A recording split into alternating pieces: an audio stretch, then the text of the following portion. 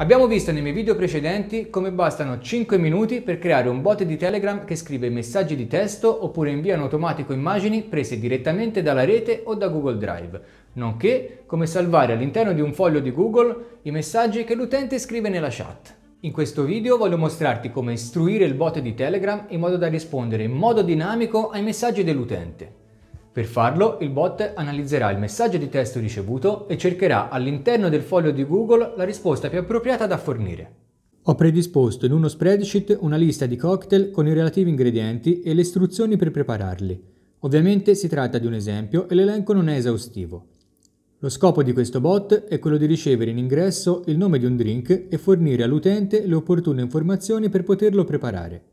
Il nome del foglio dove ho inserito tali dati è foglio 2. Il foglio 1 invece è attualmente vuoto e lo utilizzerò per salvare i messaggi che gli utenti scrivono nella chat. Può essere molto utile ad esempio per verificare quale cocktail è più richiesto rispetto ad altri o per verificare se gli utenti richiedono qualcosa che non ho previsto e nel caso integrare la lista.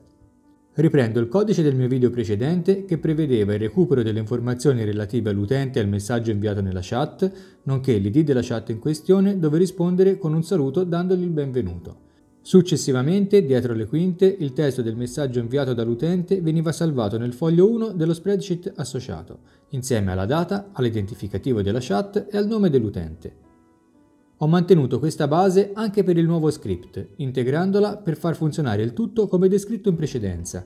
Riporto l'intero codice che vado a dettagliare riga per riga.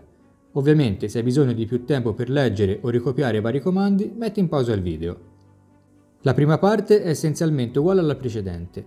Ho solo adattato il messaggio di benvenuto con un testo più pertinente allo scopo del bot e spostato più in alto la variabile con il testo del messaggio, dal momento che ho bisogno di conoscerne il contenuto per poter andare a cercare nel foglio la risposta adeguata. Le righe successive rappresentano l'id dello spreadsheet al quale riferirsi, l'opportuno foglio con le informazioni sui cocktail ed il range, ovvero l'intervallo di celle che contengono i relativi dati, in questo modo sto dicendo di partire dalla prima riga e dalla prima colonna e considerare tutte le righe e tutte le colonne valorizzate. Recupero i valori dalle celle e ne determino la lunghezza. In questo modo posso effettuare un ciclo su ogni riga e verificare se il testo del messaggio dell'utente, che mi aspetto sia il nome di un cocktail, corrisponde a quello presente nella prima cella per ciascuna riga. In caso di corrispondenza rilevata, costruisce la risposta da fornire concatenando il valore della seconda colonna, gli ingredienti, e quello della terza colonna, le istruzioni di preparazione. Una volta uscito dal ciclo, invia la risposta nella chat e come già visto nel video precedente, salva nel foglio 1 il messaggio dell'utente.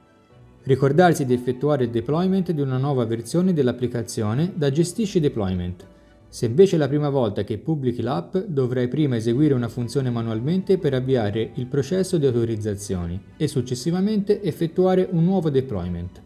La procedura è molto semplice, ad ogni modo se servono dettagli rimando al mio video su come creare un bot di Telegram in 5 minuti. Non resta che provare. Inizio con un saluto, che, non essendo riconosciuto come un nome di un cocktail, ottengo risposta il benvenuto all'invito a richiedere il nome di un drink. Inserendo ad esempio spritz, ecco che prontamente mi vengono fornite le informazioni che mi permettono di prepararlo. Magari sono interessato anche a un mojito.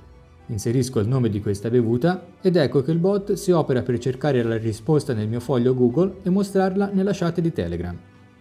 Allo stesso tempo, i messaggi che ho scritto nella chat sono stati salvati in ordine cronologico nel foglio 1. Spero che questo video ti sia piaciuto. Nel prossimo tutorial sull'argomento ti mostrerò come è possibile ottenere queste informazioni direttamente interrogando un servizio esterno, ovvero senza bisogno di scrivere e leggerle all'interno di un foglio di Google. Ti invito pertanto a iscriverti al mio canale se ancora non l'hai fatto per rimanere aggiornato sull'uscita dei prossimi video e a lasciarmi un commento se hai un dubbio, un suggerimento o un argomento che ritieni interessante e che vorresti fosse trattato in un tutorial. Per il momento ti saluto e ci vediamo al prossimo video. Ciao!